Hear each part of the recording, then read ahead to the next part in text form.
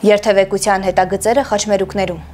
Հատվող ճանապարհները ունեն մեկական երթևեկելի գոտի։ Այդ իսկ պատճառով տվյալ խաչմերուկը ունի երթևեկելի գոտիների 1 հատում։ Եթե հատվող ճանապարհը ունի բաժանարար գոտի, այդ դեպքում տվյալ ճանապարհը ունի երկու երթևեկելի գոտի։